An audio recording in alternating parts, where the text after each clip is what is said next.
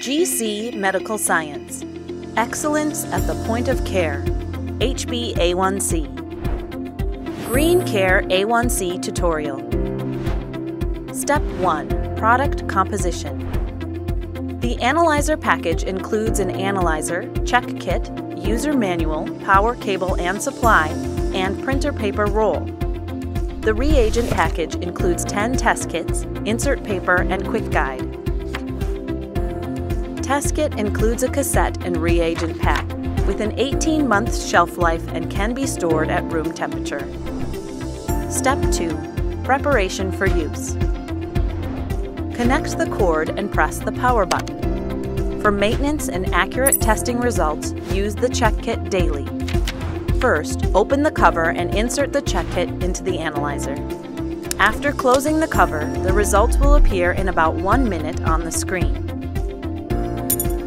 Upon confirming success, press the OK button, then eject the check kit.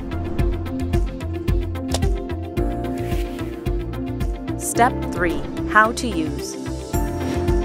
Prepare the test kit. The test kit should be used within 10 minutes after opening. For accurate results, make sure you do not get your fingerprints on the measurement window displayed on the screen. Insert the cassette into the analyzer with the barcode facing left. Prepare the blood sample. The required sample volume is 3.5 microliters and both capillary and venous blood samples can be used. Before collecting the blood sample, thoroughly disinfect the fingertip with an alcohol swab and then collect the blood using a lancing device.